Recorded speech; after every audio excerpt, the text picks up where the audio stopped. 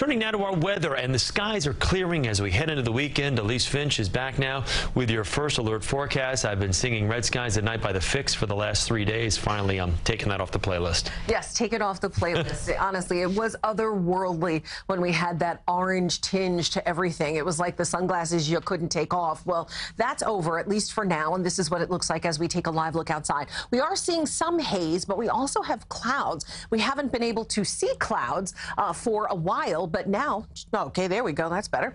We haven't been able to see the clouds really because the haze and the smoke was so thick. Right now, we've got uh, 70 degrees in Central Park with winds out of the north-northwest at 7 miles an hour. We are looking at temperatures 69 degrees for Caldwell, New Jersey, 67 for Parsippany and for Basking Ridge. Clark is at 71, Ridgewood is at 73. So we are warming up uh, around the area. We will likely see highs today max out in the upper 60s for some of the coolest locations and then low 70s for some of the warmest locations. We are still dealing with smoke. We are still seeing some of that smoke, but it's not obviously nearly as thick or intense as it was a few days ago. We're also seeing some shower activity, which we knew we would see. Uh, that is one of the other functions of that area of low pressure, this system, the circulation around which has, of course, steered some of that smoke-filled Canadian air directly into the northeast. But at the same time, it's now circulating some moisture. And so we're tapping into some of that today. So the smoke futurecast does show that we're done with those purples and those very dark red colors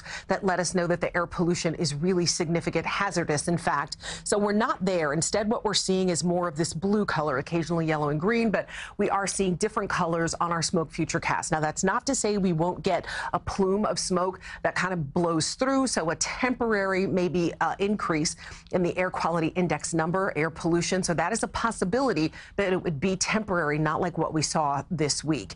As we take the smoke out of the mix and just look at clouds and rain, we're already seeing some showers uh, to our north. We'll continue to see a chance for not only showers, but some embedded thunderstorms as we head into this evening. So hopefully you have an umbrella. If not, grab one.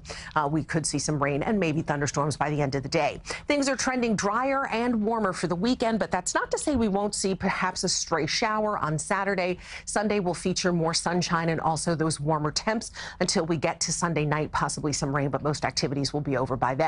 So 71 degrees today, a little on the cool side, a chance of rain and possibly a thunderstorm 59 degrees expected tonight. Tomorrow will be warmer at 78 degrees. And then Sunday is going to be the warmest, the warmer of the two weekend days. 84 degrees expected on Sunday.